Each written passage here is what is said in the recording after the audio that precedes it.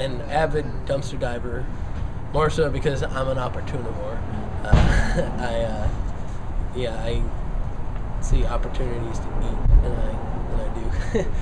I think if, if people would adapt freegan, freeganist, freeganist uh, aspects into their life, that, that that means you know going going to you know your local community and working working together in order you know in order to be sustainable